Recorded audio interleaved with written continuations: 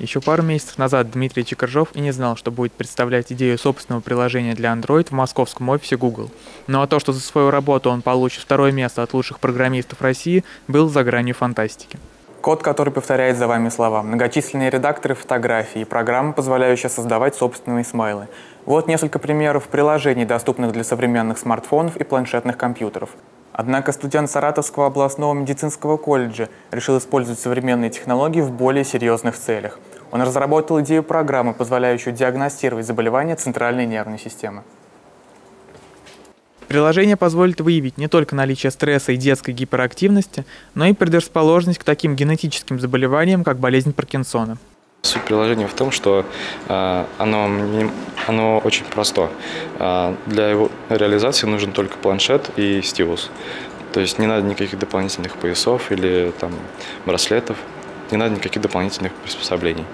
То есть вы можете просто включить его, э, провести диагностику и получить результат. Соответственно, оно не может давать диагноз, потому что диагноз может ставить только врач. Оно может советовать вам только обратиться к ну, вышестоящему там, терапевту. Идею своей разработки Дмитрий представил на всероссийском студенческом конкурсе Russia Android Challenge, который проходил в московском офисе Google. В финале студент второго курса Саратовского областного базового медицинского колледжа встретился с разработчиками из лучших университетов страны и занял второе место, будучи единственным представителем не только колледжей, но и всей Саратовской области.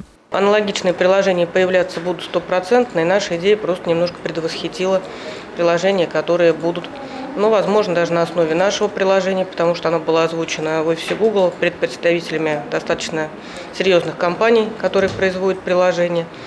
Ну и вполне возможно, именно наша идея имеет будущее. Проблема не только выдумать что-то, но еще преподнести, объяснить людям, заинтересовать людей. Ну и выиграть, в общем-то, на соревновании.